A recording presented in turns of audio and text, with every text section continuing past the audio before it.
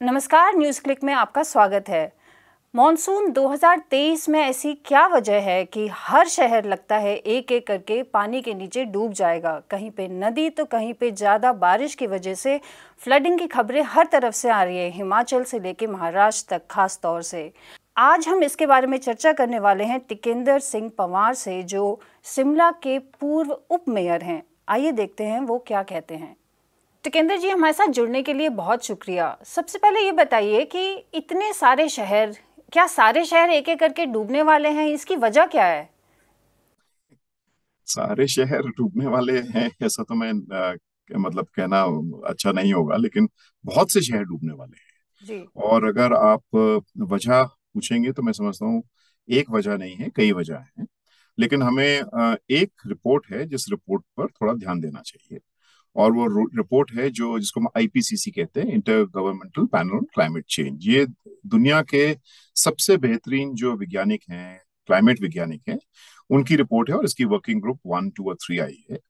पूरे दुनिया पर क्या असर पड़ने वाला है जलवायु परिवर्तन जिसको हम कहते हैं, वो वो पूरा बता रहे हैं। लेकिन हिंदुस्तान के मुतलिक मतलब अपने देश के हिसाब से दो बातें वो अहम कह रहे हैं।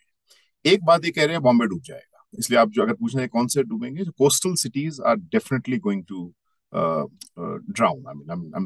get, getting flooded the moment we have rains. But at the same time, there's also the rise in the in the sea level. तो वो एक अलग चैलेंज है uh, और दूसरा है जो हिमालय पर है तो सबसे ज़्यादा वनरेबिलिटी वैसे पूरे देश में ही हमारी वनरेबिलिटी ज़्यादा है वो मैं सेकेंड फ़ेज़ पर आना चाहूँगा उसमें लेकिन हिमालय पर्वत पर और कोस्टल सिटीज़ में जो भी अर्बनाइजेशन है, उस पर ज़्यादा खतरा है, वो वो वैज्ञानिक बोल रहे हैं।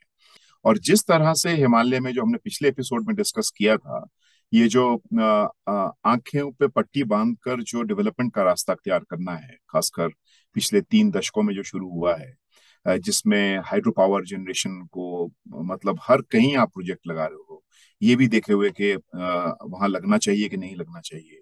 लोगों की मर्ज़ी को दरकिनार करके और हमारे सामने वो नज़र आ ही रहा है, आप तस्वीरें देख सकते हैं, कितनी भयानक है।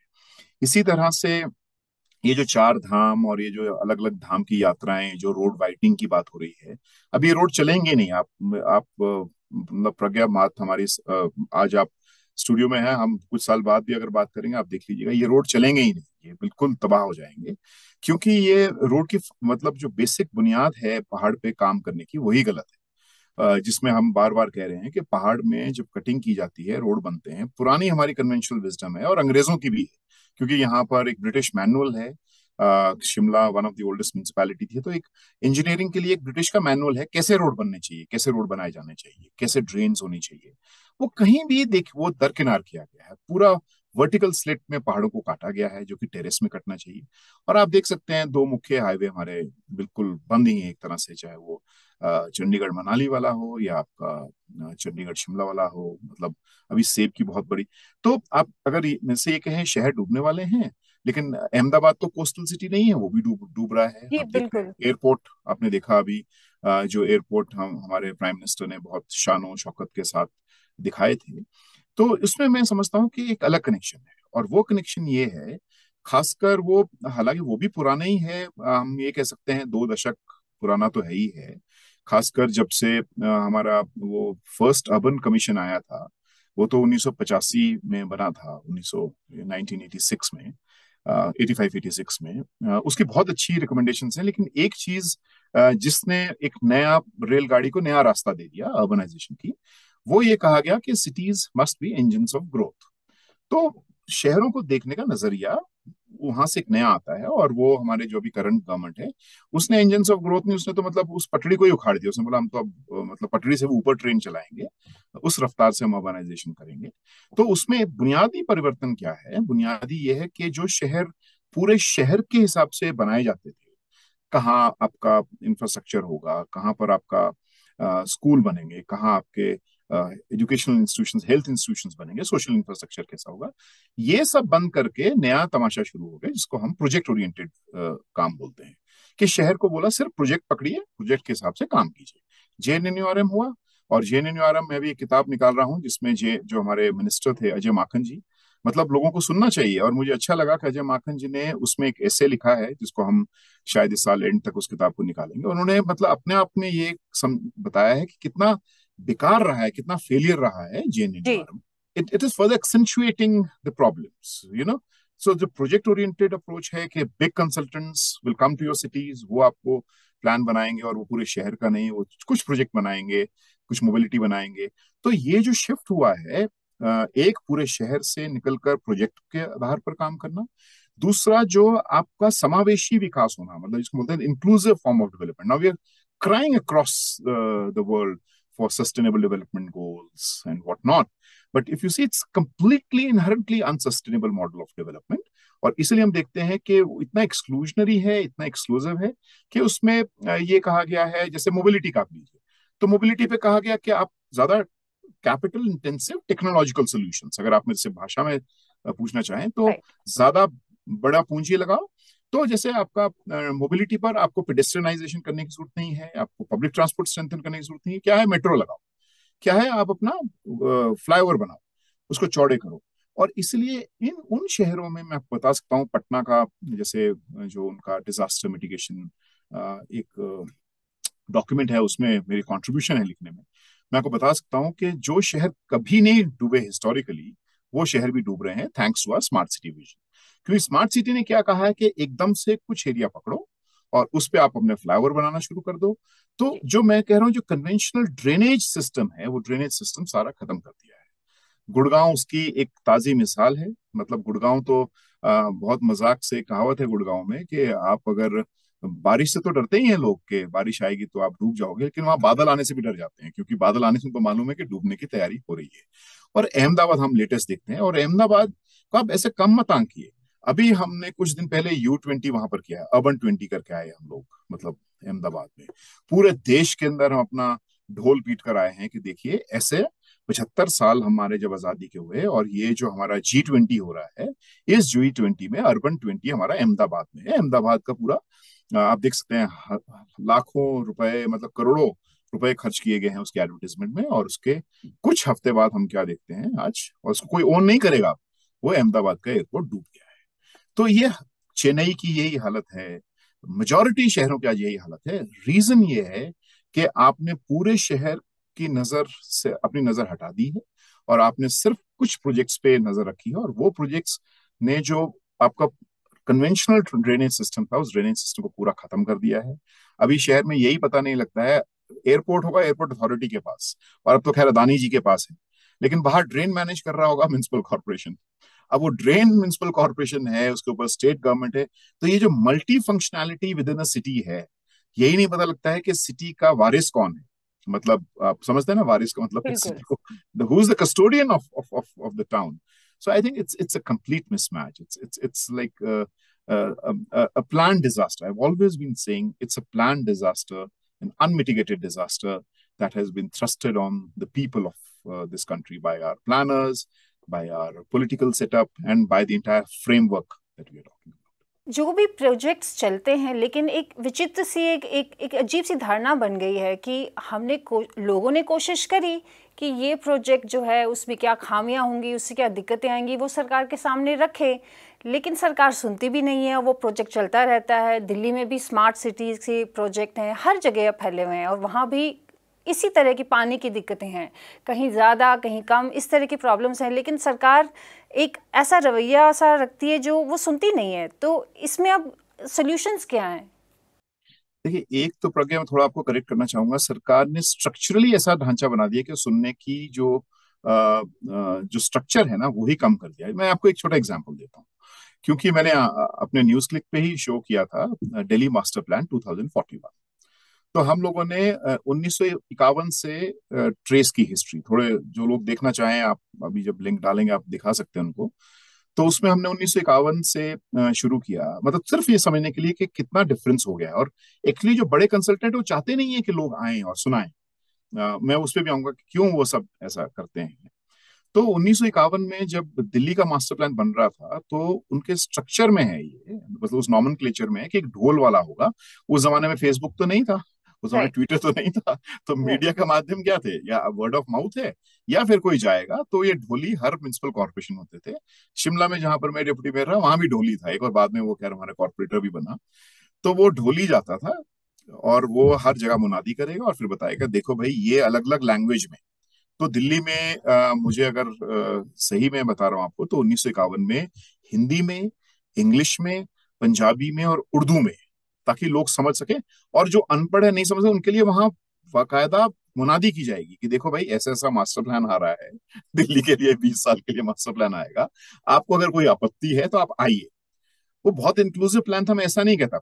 लेकिन फिर भी थोड़ा एलिमेंट था कि आप लोगों के बीच में गए और आपने उस हिसाब से आ, उस योजना को बनाया। अभी आप 2041 का प्लान बताइए। आप तो सबसे मतलब मैं कहूँगा एलिट नहीं लेकिन प्रबुद्ध दिल्ली के वासी है। आपसे पूछा गया कि मास्टर प्लान कैसे होना चाहिए? तो स्ट्रक्चरली डिफरेंट है। और अभी तो ये पूरा क्योंकि ये बहुत ज़्यादा कैपिटल इंटेंसिव टेक्नोसेंट्रिक जो माहौल है, उसमें वो चाहते नहीं कि लोग आए। इसलिए वो सारा टेक्नोलॉजिकल सॉल्यूशंस कह रहे हैं कि हाँ हम ये टेक्नोलॉजी से हम अब फ्लड के लिए क्या लगाएँगे? हम सिर्फ़ सेंसर लगा देंगे उससे फ्लड में। अरे फ्लड सेंसर से नहीं नापे जाएगा फ्लड सिर्फ़ नापेगा ड्रेन तो साफ़ करो यार टाइम पर साफ़ करो। और साथ में आपके जो बेसिक है और अब ये भी आ रहा है सामने कि पहले जो हथनी कुंड से पानी छोड़ा गया और अभी जो छोड़ा गया अगर आप दिल्ली की बात करें तो पहले ज़्यादा छोड़ा गया था लेकिन आपका सिवर इतना घुस गया है उसमें कि उसी से ही आपकी सिल्टिंग हो गई है। तो इसलिए वो पानी वापस आपके शहर में वापस आ रहा है। तो अभी अगर आप 2041 का जो मास्टर प्लान है उसमें वो स्ट्रक्चर ही नहीं है कि वो सुने एक तो बात ये। दूसरी जहाँ पर लोगों ने प्रयास भी किया जैसे 2041 के प्लान में कुछ लोगों ने प्रयास किया जैसे मुझे याद है मैं भी दिल्ली कैंपेन करके मैं भी उसमें भागीदार था तो उन्होंने किया लेकिन एक भी बात को मतलब सुना नहीं गया है और इसलिए वो जो लोगों के पास ताकत है वीटो की कि हमारा शहर है वो मुझे लगता है कि न्यू गवर्नेंस स्ट्रक्चर्स को, उसको उसको स्ट्रक्चर को बिल्ड करना ज़रूरी है। अगर हमने सिर्फ़ डिजास्टर मिटिगेशन से नहीं, अगर हमने ओवरऑल देखना है यू नो रेजिलियंट गवर्नेंस के हिसाब से या सिक्योर गवर्नेंस के हिसाब से, अपना सिक्योर फ्यूचर के हिसाब से तो मुझे लगता है कि there have to be new nuances of urban governance which have to be extremely democratic and democratic doesn't mean कि आप वापस जा रहे हो सुनने के लिए. It means people have to be empowered If they say no that must be no and if they say yes that must be yes. Unfortunately, those structures, uh, हालांकि there's a model uh, urban uh, uh, एक draft है उसका and uh, I've been working on that draft uh, quite recently.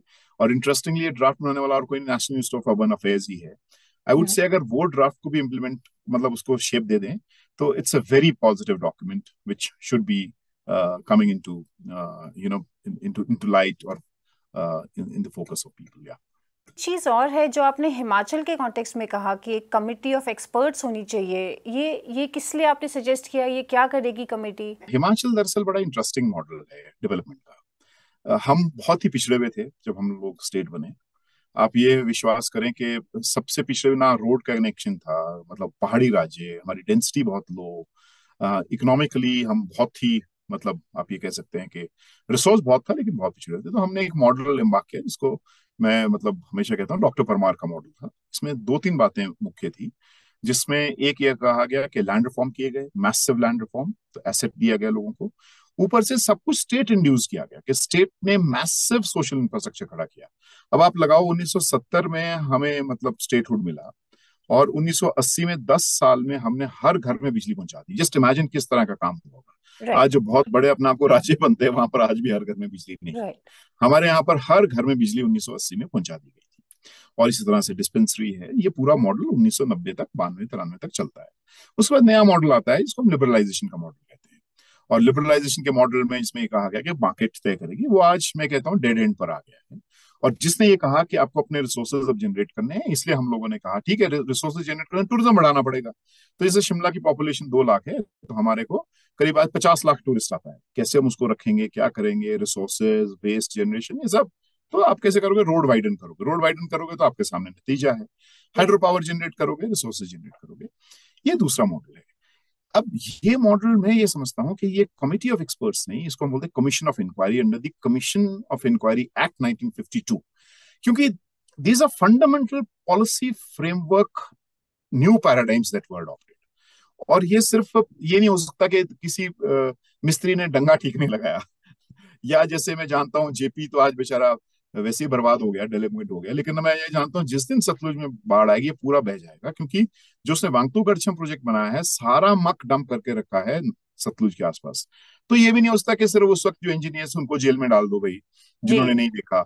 या फिर JP को आप पकड़ के लाओ तो खैर वैसे बेचारा पकड़ने लायक नहीं आजकल पूरा डिलिंक्वेंट हो गया है उसने जिंदल को बेच के चले गया वो प्लांट वो भी है that doesn't mean that you you just spare them but the point is this is a complete new policy framework तो उस पॉलिसी फ्रेमवर्क में जिसमें लोगों की भागीदारी हो that can only be through a commission I mean commission of inquiry act which is under the constitution of India और वो स्टेट गवर्नमेंट एम्पावर्ड है। और उसमें हमने ये कहा है कि रिटायर्ड सुप्रीम कोर्ट के जज प्रेफरेबली जो हिमाचल से हो। And then of course there can be committee comprising that commission और वो एक साल, दो साल लें ताकि एक रास्ता दिख और उसमें सबसे बड़ा स्टेक होल्डर लोग होंगे, ताकि लोग उसमें अपनी बात कहें। और ऐसा हुआ है बहुत सारी जगह पर एंडमन में हमें मालूम है कमीशन ऑफ़ इंक्वायरी एक्ट के तहत कमीशन की गई थी और कुछ वहाँ पर हासिल भी किया गया था। नहीं तो ये क्या होगा? हर साल प्रक्रिया हम अभी डिस्कस करेंगे। बरसात आएगी तब हम बाढ़ डिस्कस करेंगे। थोड़ा पानी नहीं आएगा तो हम हीट आइलैंड इफ़ेक्ट डिस्कस करेंगे। फिर गर्मी से लोग मरेंगे और फिर थोड़ा सा जब सर्दी आएगी तो पेड़ गिरेंगे, बर्फ़ गिरेगी, तब लोग मरेंगे। क्योंकि ये जो मैं जब कह रहा हूँ ये उदारीकरण का दौर it's come to dead and ये अब it can't provide you know efficient services forget about sustainability at all I mean it's a bogus thing मेरे हिसाब से कि एसडीजीज और ये सब हम जो बात कर रहे हैं कहीं भी नज़दीक भी नहीं है उसके।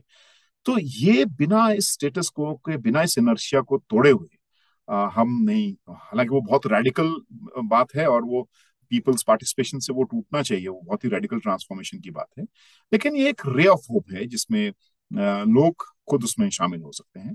ये उसी तरह से जिस तरह से डॉक्टर परमार ने मतलब आपको कहानियाँ अगर मैं हिमाचल के संदर्भ में सुना तो उन्होंने अपने पीठ पर खुद पैदल चल के तब लोगों को कहा सेब लगाओ तो खुद पैदल चलते थे, सेब के सैपलिंग पीठ पर उठाते थे हॉर्टिकल्चर ऑफिसर्स को और बाकी सबको बोलते तो एक नई ट्रांसफॉर्मेशन आई, आज हमारी इकोनॉमी सेब की करीब पाँच से छह हज़ार करोड़ रुपए है। जब जब लोग अपनी ज़मीन छोड़कर बाहर जा रहे हैं, सिर्फ़ सेब एक ऐसी क्रॉप है जहाँ पर लोग वापस आते हैं।